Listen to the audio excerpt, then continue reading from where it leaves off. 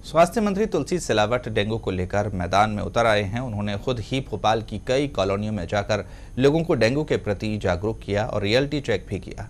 इस दौरान उन्होंने कई घरों में जाकर टंकियों और उन स्थानों को भी देखा जहाँ पर डेंगू का लार्वा हो सकता है। मंत्री तुलसी सिलावट ने 10 दिन में डेंगू से निपटने की बात भी कही है।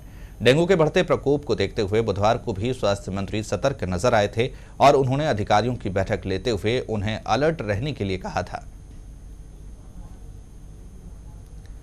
तो डेंगू को लेकर स्वास्थ्य मंत्री तुलसी सिलावट काफ़ी सतर्क नज़र आ रहे हैं। उन्होंने आज कई जगहों पर जाकर निरीक्षण किया। उन्होंने ऐसी ऐसी जगहों पर जाकर देखा जहाँ पर डेंगू का लार्वा पनप सकता है। लोगों को जागरूक किया डेंगू को लेकर। उन्होंने कहा है कि 10 दिन के अंदर डेंगू के प्रकोप से छुटकारा दिला देंगे। लगातार उनका ये अभियान जारी है। डेंगू से उनकी लड़ाई लगातार जारी है। उनका कहना है कि डेंगू को हमको जड़ से ख़त्म करना है।